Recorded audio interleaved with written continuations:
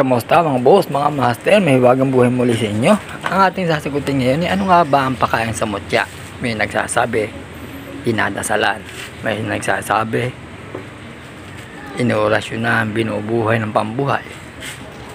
Pero ito po ay ayon sa aking karanasan at kaalaman na ang mutya ay hindi talaga dinadasalan. Yan po ay buhay na kahit saan po magdating, mutya, galing sa kalikasan, buhay na yan, makapangyarihan yan.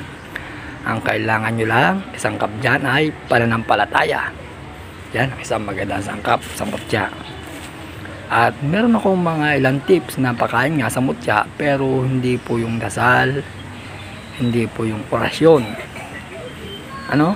Ang ating pong pakain sa mutya, kumbaga po galing ilog ano? Edi kumuha po kayo ng tubig ilog. Lalo na kung mahal na araw o biyernes doon yung ibabad ang inyong matya kumbaga galing sa dagat. Gaya nito tulya.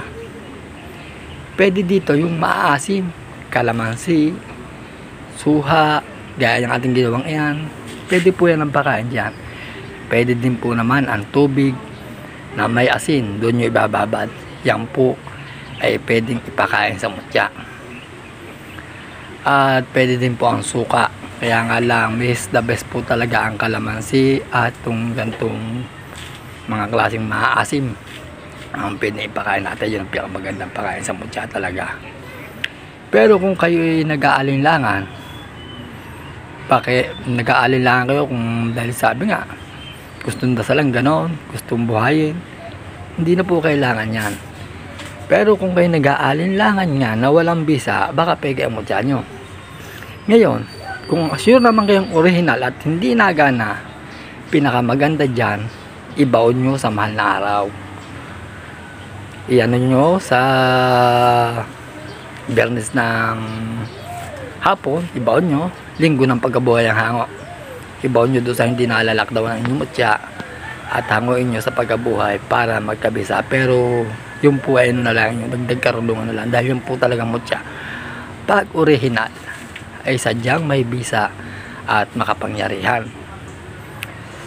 Napakaradong klaseng mutya at sadya po marami pong nagaano na walang bisa. Eh wag po kayong magtatampo sa akin. Kung sinabi ko sa inyo na hindi talaga dinadasalan hindi talaga inuorasyonan ang mutya. Dahil pag po original ang mutya sadya pong magaling yan. Eh pero kung peke po ang inyong mutya ay siguro kaya kayo mag-iisip na dasalan orasyonan yung ang pinakamaganda niyan talaga kumbaga mahal na araw balik sa kalikasan para magkaroon ng dagdag enerhiya ma-refresh dahil wala po talaga tayong magagawa dyan dahil wala po talagang dasal ng motya pero yung iba ginagawa nila pag sila ay nakukonsagra isinasama nila. Pwede din pero hindi po talaga yung pang medalyon po talaga yun at pang orasyon pang pang mga medalyon po yun. Hindi po para sa mga mutya yun. Oo pag po nagkukonsagra nakalagay doon lahat ng kawangis.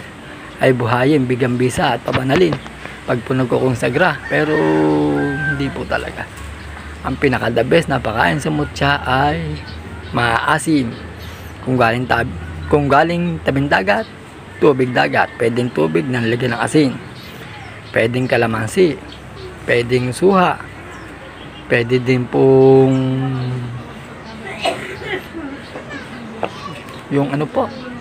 Basta maasim po namin na pag pinipisa nyo ay nagiging sabaw. Pwede po yan.